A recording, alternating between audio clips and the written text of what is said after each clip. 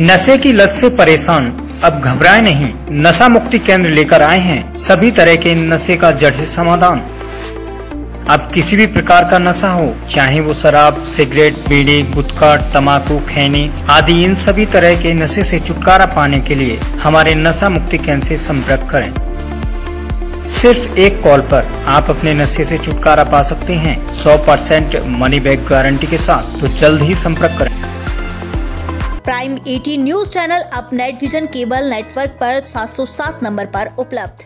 नमस्कार, मैं विवेक डोगरा, आप देख रहे हैं प्राइम एटी न्यूज़ आइए नज़र डालते हैं आज की कुछ ताज़ा सुर्खियों पर। दूध मुई बच्ची के साथ विवाहिता की गला रेती हुई लाश कमरे में मिली। मेजा रोड, चौकी के अंतर्गत बलुआ गाँव में महिला एवं उसकी छह माह की बच्ची की गला रेती हुई सब मिला। प्राप्त जानकारी के अनुसार रामेश्वर निषाद की पत्नी माला देवी उम्र 22 वर्ष, अपनी छह माह पुत्री के साथ सोमवार को देर रात कमरे में सोई थी। मंगलवार सुबह जब देर तक कमरे का दरवाज़ा नहीं खुला तो परिजनों को आशंका हुई। परिजनों द्वारा दरवाज़ा पीटने पर भी नहीं खुला तो लोगों ने इसकी जानकारी पुलिस को दी। मौके पर पहुँची पुलिस जब दरवाज़ा तोड़कर अंदर गई तो कमरे में माला व उसकी पुत्री गला रहता हुआ। सब मिला, पुलिस सबको कब्जे में लेकर पोस्टमार्टम है तो भेजा है। मौके पर क्षेत्र अधिकारी मेजा उमेश शर्मा, मेजा थाना अध्यक्ष मनोज पाठक मौजूद। यह हत्या है या आत्महत्या? मेजा पुलिस जाँच में छुटी है। प्रयागराज से उमेश चंद, सोनी की रिपोर्ट।